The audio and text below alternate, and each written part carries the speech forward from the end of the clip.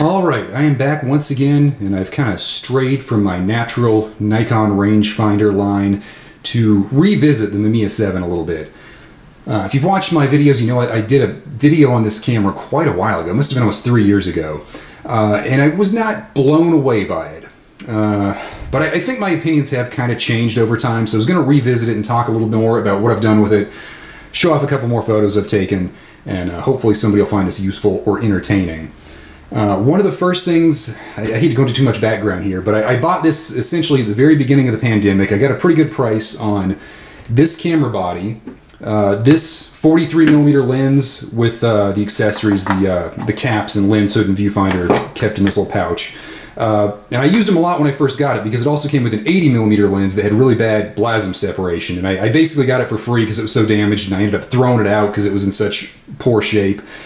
So I shot the camera almost exclusively with this lens and this kind of setup for a few months at least, and I shot a couple of rolls of Kodak Ektar and Kodak Portra 160, I think. Not too impressed with it. I also shot a few rolls of black and white. Black and white. I think it was uh, Kodak Tri-X. I'm pretty sure. Um, and I was not blown away. I like the lens. I was kind of mixed on some of my results, and I think a lot of that was the film. Um, some of it might have been the lens. It, it it's kind of hard to say. Uh, anyways, I ended up buying the 65 millimeter lens. I think I mentioned that and had it in the previous video, but I, I don't quite remember. Uh, and I didn't use it a whole lot because I'd already shot a couple of rolls with the other lens, and I was like, okay, this is fine. I know I have shot a couple of rolls of black and white on this, but even that was about a year ago. Uh, and I just thought I would kind of follow up because I have been shooting on this lens more essentially what happened is I was trying to sell the camera. I knew a couple people were photographers. I, I, offered it to them and said, hey, if you have any friends who'd be interested in this, let me know. I'll offer a pretty reasonable price for the whole setup. Nobody was really interested, and I was actually telling this to one of my friends who's a pretty serious photographer, not so much a camera collector or, you know, a person of that nature. And he asked, you know, what I'd shot it on. And he asked why I hadn't used more color film, and I was like, you know, it's just kind of expensive. And he was like, well, I think that's part of your problem. You should have used it more with color film because I think with those lenses, that's where the system really shines. And I thought, you know, that's that's not a bad point. Most of the good work I've seen from a Mamiya 7 has been shot on like a good quality color film. Uh, and I'm not a big fan of Portra, so I wasn't a big fan of going after that one. But I noticed the new Kodak Gold had come out, and it had actually been marked down early this year, so I bought a few boxes of it. And I've been shooting on this uh, camera in this lens with the uh, Kodak, and I've been a lot more impressed with it. And uh, there's just a little lens cap. I do that on some. It's a generic lens cap, but I write my what's uh, kind of an approximation of my name in Japanese. I was kind of like that little personal touch of mine, but just something I thought I'd throw out there. Uh, so I've been shooting this lens a lot more, and actually, when I when I shoot the lens, or I mean this camera, I almost always have this lens on it. I'm not really using the 43 anymore. The 43 is a good lens, and I like wide angle lenses, but I, I think over time I've come to realize that more of a modest to standard wide angle, like on, on a full frame camera, 35 millimeters, something more like a 35 or a 28 is kind of what I lean towards. A 24 is okay, but sometimes they feel a bit too wide, and anything wider than 24 feels a bit gimmicky. And with this lens, I think it's equivalent on a 35 millimeter camera is something about like a 24, so it is pretty wide, whereas the 65 is closer to a 35. Uh, I hope that's making sense. I know it's a little weird. But this is essentially pretty close to um, some setup like uh, this one right here, my my Nikon FM with the 35 millimeter lens. It's an old old one I did a review on. Again, it's got kind of the, the same cap. Um, but yeah, I just thought that was something that was kind of noteworthy, and I've been a lot more impressed with it. I think some of it was just using the Kodak Gold. I think some of it was probably using the 65 millimeter lens, which I think is more of a versatile lens for just kind of walking around, for lack of a better term. Uh, and I bought a few boxes of Kodak Gold. I've, I've still got right here, there's two full boxes and about a, a, half one. So I have, I think I bought five in total, so I'm less than halfway through it.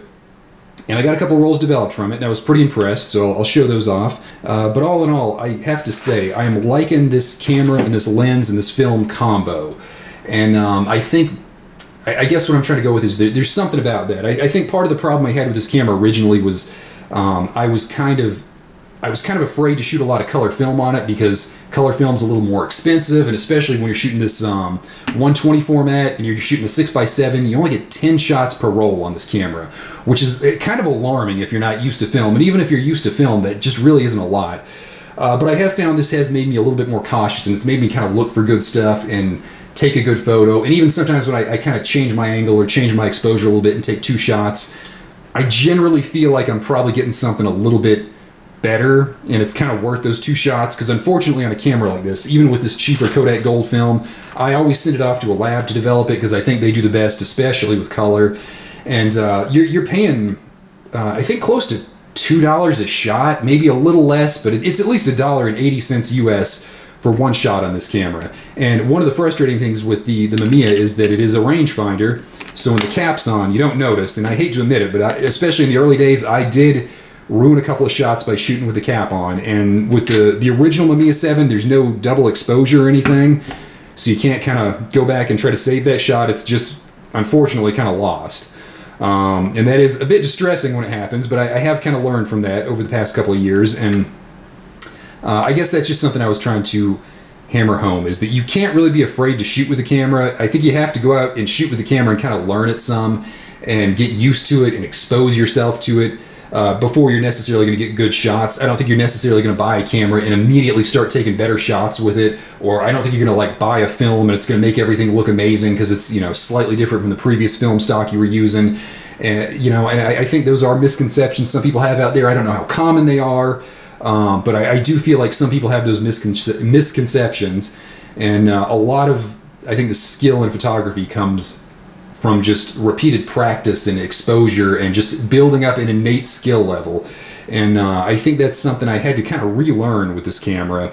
And I think it was a painful process again because you're only getting 10 shots in a roll with this camera. I just thought there was something to be said about that, about using this camera, uh, having a lens that was, you know, kind of versatile. I still, in some ways, if I had a choice, I think I'd rather have the 80 millimeter lens than the 65 I know a lot of people will say the 65 is better. I have it. I like it. I'm, I'm not 100% sure because I haven't really used the 80.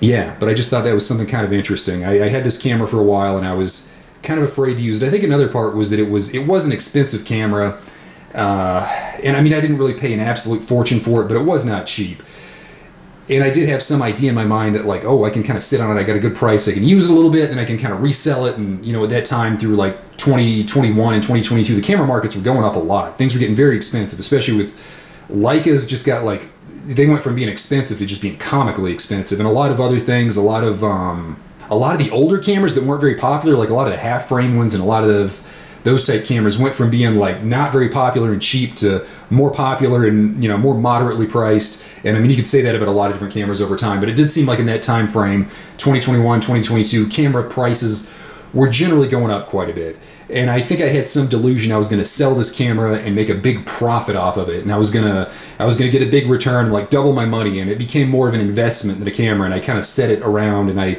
I wanted to make sure that it stayed kind of like safe and clean, and it didn't really get uh, scratched up, even though the, the camera was pretty heavily used when I got it. And you can see it's got some wear there, and on the the film advance lever, and the bottom has some. Uh, it's not in perfect shape, but it does work. Uh, actually, the I don't think the self timer works now that I mention it. I don't, I don't think I've ever gotten that to work, but I'm not 100% sure how it works. The button's still on there, so that's better than some of them. Point being, I think I sat on this camera too long because I kind of I, I, got kind of caught up in the cost. I was afraid of the cost of film and sending it off to get properly developed at a lab. I had some delusion I was going to sell it and make a big profit. This was some big investment, uh, so to speak. And uh, I think it, that was kind of a misstep because I didn't really use the camera much, and I, I kind of dabbled. Like I said, I used a lot of cheaper black and white films and developed them at home, and I don't think I got very good results for it. And I probably shouldn't have even been dabbling in that to begin with. I probably should have gotten a decent color film stock and bought a couple of boxes and shot with it, and just gotten better results. And I didn't do that. And I, you know, it's one of those things I should have known better. I preach all the time about, you know, not not buying tons of stuff and not wasting tons of money on things. Um, and I think I kind of went the opposite, and I, or I, I, took that advice to the opposite extreme, and I was afraid to essentially shoot this camera because I was going to spend some money on it. And I think that was a misstep that I've kind of learned from. Uh, anyways, I'll just you know I'll show some images. I think they're pretty good. Uh, I don't really have much else to say, but I guess if there's some sort of point I wanted to hammer home, it's that you know you got to get out there and shoot, and you can't be overly afraid of your camera getting kind of scratched up or damaged and theoretically being devalued you can't be too worried about like you know sending off a, a, roll of film or a couple of rolls of film to a lab and it costing a decent amount of money because you know it, it's not cheap but if you want it done right i think sometimes you got to pay to have it done right and i think that's very true with a lot of things, like home repair and car repair being one. But I think with cameras, that's also kind of a thing. You got to like, especially if you're going to shoot film, you got to be willing to buy a decent film stock. And if you're not very good at developing yourself and you don't have you haven't built up a good dark room type setup at home, it's probably better to just spend a little more and send it off to a lab. So um, that's pretty much my rambling. Hopefully somebody can take something away from this and uh, get out there and keep shooting.